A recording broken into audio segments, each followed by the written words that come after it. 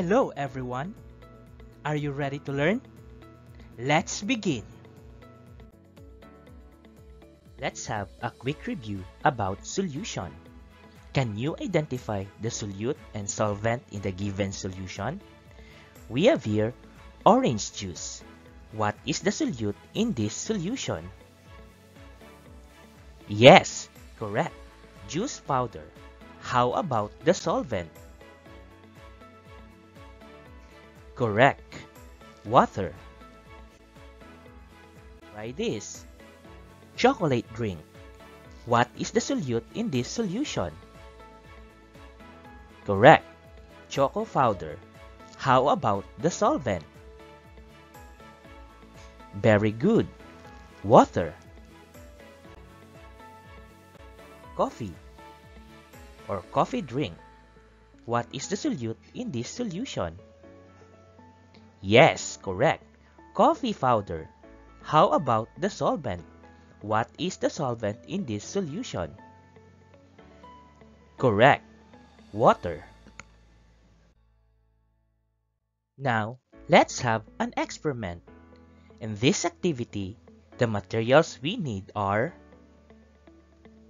cornstarch, spoon, clear glass, and water. First, you need to prepare the materials. Now, pour 5 tablespoons of cornstarch on a clear glass with water.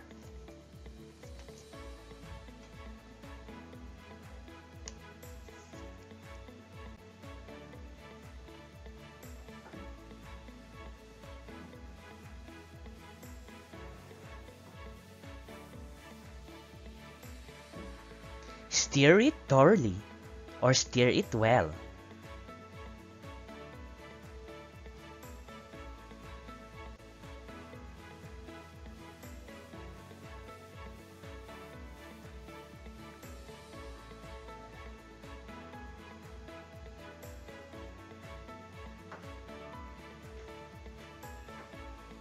Stir the mixture very well.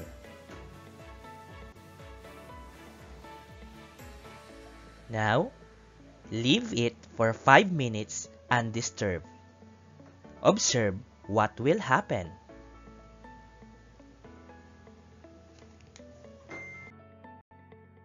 After 5 minutes, the mixture looks like this one.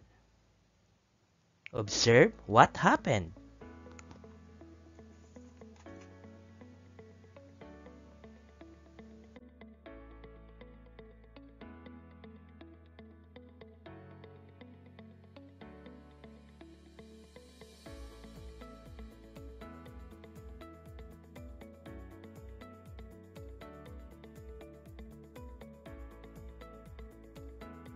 Let's answer some questions about your observation. In what state of matter were the cornstarch and water belong before mixing them?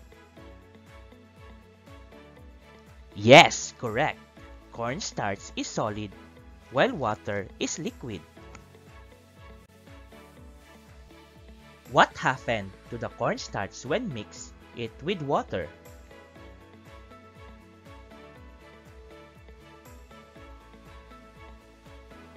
Yes, correct. It mixed up with water.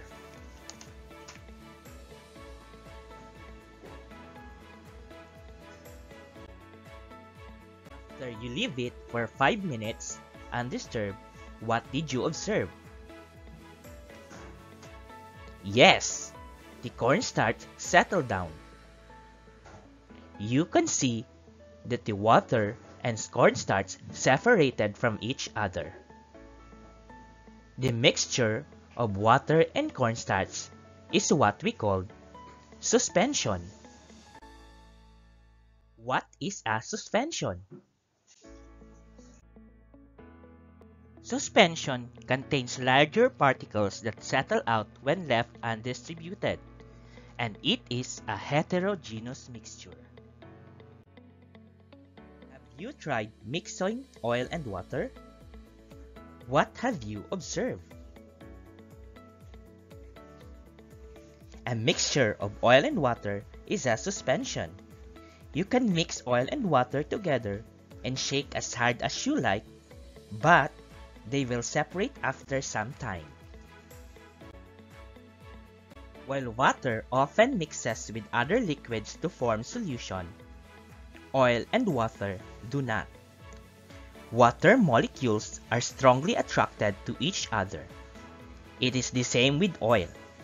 They are more attracted to their own molecules. When left undistributed or undisturbed, oil floats above the water because it has lower density than water. Have you tried mixing sand and water? What have you observed? Mixture of sand and water is an example of suspension. As described the appearance of this suspension. How many faces are visible? Yes, two. What happened to the sand? Correct, it settled at the bottom. There are some substances that do not mix when combined. They just settle at the bottom or float on top. For example, a combination of water and oil, and a mixture of sand and water. These are some examples of suspension. Same thing will happen if we mix pebbles and water.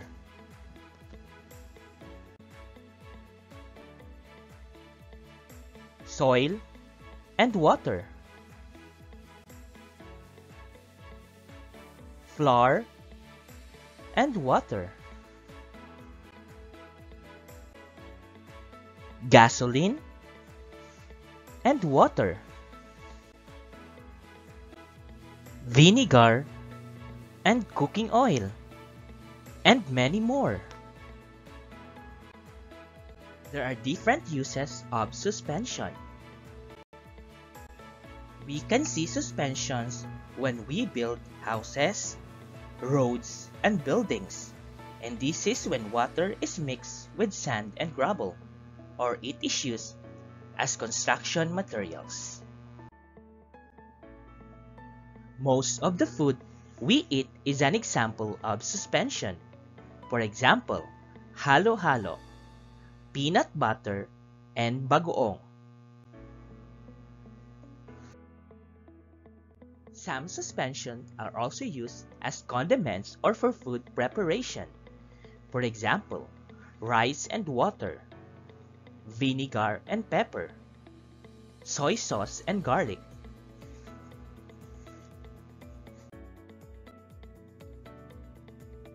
Some suspension are used for medicine, such as syrup and antibiotics. Other suspensions are used for decorations, like aquarium. You learn about suspension. A suspension is a heterogeneous mixture on which particles do not dissolve completely. Particles float on top or settle at the bottom.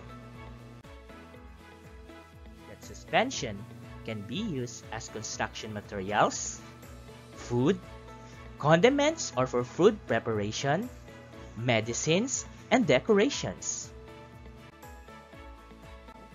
Let's find out if you have learned something from my discussion.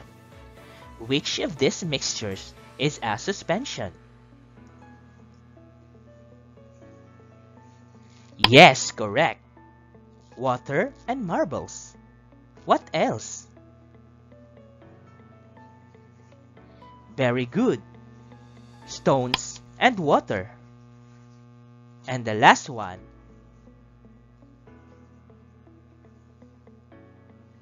Very good. Oil and water. That's all for today. I hope you've learned something new. Thanks for watching. See you next time. Goodbye.